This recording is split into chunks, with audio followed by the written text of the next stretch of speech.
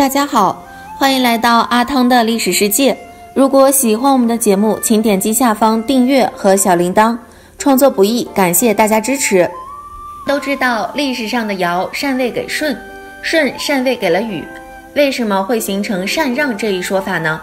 有一派学者认为是孔子编造出来的，因为他的一套理论是要求以礼以仁治国，他需要一些实例来佐证。于是他挖出离他已有一千五百年的遥远统治者加以美化，因为那时候甚少文字记载，许多东西可以由他言说。孔子是以授徒出名的，他有弟子三千，每一个人都出去说一遍他的话。俗话说，谎言重复千遍就成了真理，何况他有弟子三千呢？而且这些弟子后来还又收弟子。孔墨之弟子徒属充满天下，这样重复下去，这个禅让之说就越变越真了。当然，一切说法都不会是空穴来风，一定有它产生的基础。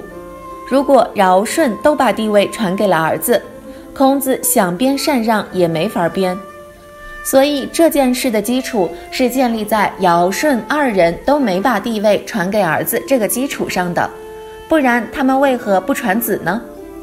孔子也许是不知道真相，也许是不愿意知道真相，因为他为了宣扬自己的一套以仁礼治天下的理论，必须找出一些和他理论的事例。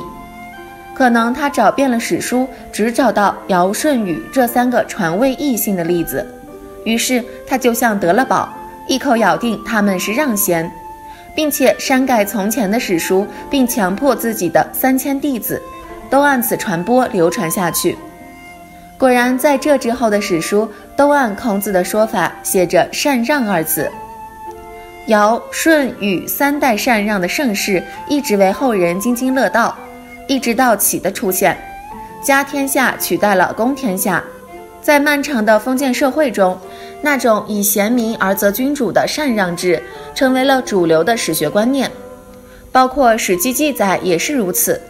但西晋时期，盗贼墓发现一古墓，其中出土的先秦古籍《竹书纪年》中，却有着尧舜禹之间通过囚禁流放夺取权势的记载。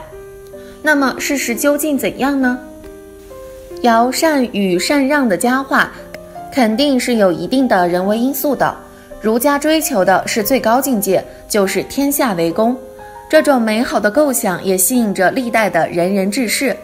可什么是天下为公？总需要一个标准。几乎没有文字记载的上古时代，就成了塑造这种构想的最佳选择。《史记》成书于汉武帝年间，儒家早已成为有数的正统思想，对司马迁本人有着深刻的印象。其次，对于缺乏史料的上古时代，司马迁采用民间传说作为借鉴依据之一。尧舜禹的禅让，更多的是人们口口相传的结果。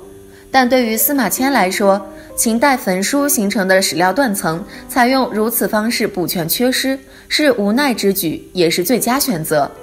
可《竹书纪年》作为先秦时代的史书，对此记载截然不同。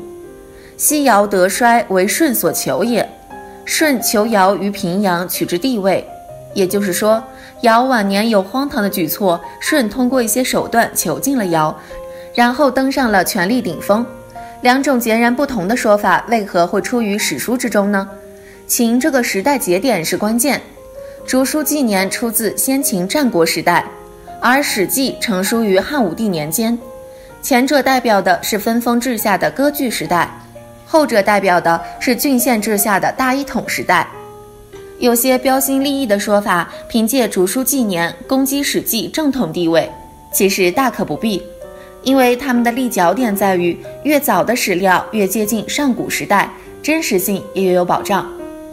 乍一听很有道理，可仔细一琢磨，这种论断漏洞百出。甲骨文的出土使商朝有了切实研究的文物基础，而夏朝至今都缺乏丰富的文物佐证。更何况是缥缈的上古时代呢？其中间隔夏、商、周三代，对于尧舜禹时期的了解程度不会有很大的偏差。司马迁和竹书纪年编撰者，间隔尧舜禹时代的年限都超出了可以实际考证的周期。就像伽利略的比萨斜塔实验也是有前提的，投掷物必须达到能够自主下落的质量，不受空气浮力影响。史料准确性验证也是大同小异。如果竹书纪年编撰于夏商时代，可以准确接触尧舜禹时代，那么这种论断可信度就很高。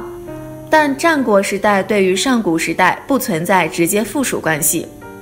换句话说，竹书纪年编撰者也不能准确考证那段尘封的往事。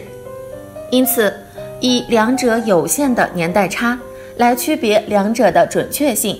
其实就是利用人们的惯性思维，五十步笑百步式的偷换概念。既然过远的年代都无法准确考证，那历史研究的价值是什么呢？这个问题很多人都会疑惑。其一，无法确定不代表不能证实，其中需要一个必要的过程。就像甲骨文出土之前，商朝的记载也如镜中月，水中花。而夏朝在内的更久远的年代，需要一步步考察，必要文物出土之后才能证实，如此才符合史学研究的严谨性。其二，考察一个时期和考证一个时期存在根本性的区别，前者是根据文字、文物等资料逐步探索的过程，后者则是文字、文物资源充足，足以拍板定案的阶段。因此，尧舜禹阶段的还原过程中，不能偏听偏信。竹书纪年出自战国年间，那个时代礼乐崩坏，就是周王室的分封制即将崩溃，处于一个社会大变革的时代。其撰写者作为魏国人士，眼见连年争端生灵涂炭，心中愤懑可想而知。尧舜禹依靠手段夺取权力，也就解释得通了。春秋无义战，战国尤甚之。对于一段难以考证的历史，篆书人会将当前社会主流观念带入其中。《史记》成书于西汉年间，儒家自此兴盛。之前道家、法家盛行之时，儒家也是主流思想之一。因此，司马迁会受到儒家思想潜移默化的影响。在他的笔下，无法考证的尧舜禹时期，依靠才能互相推举，也就成了上古时代的盛举。所以，禅让真相要一分为二的看问题：其一，他不会像竹书纪年撰写的那样赤裸裸的残忍；其二，他也不会像史记描述如此平和惬意。有人的地方就会有争端。上古时代绝不会脱离人的范畴，必要的争端一定会有。但文字记载能够有效保存之前，人们依靠口口相传的方式传承文化，有两个突出特点：其一，不会空穴来风，一种言论不会凭空产生；其二，不能全盘接受。同一件事物传播到第二个人时，已经有了或多或少的偏差。竹书纪年《史记》对于尧舜禹时期的记载传承于民间传说，夹杂有时代背景，因此前者尧舜禹互有龌龊属实，后者描绘禅让以贤任能也有一定的基础。尧舜禹禅让是在以贤任能的大时代基调下存在一定龌龊举动的。人非圣贤，孰能无过？尧舜禹也不例外。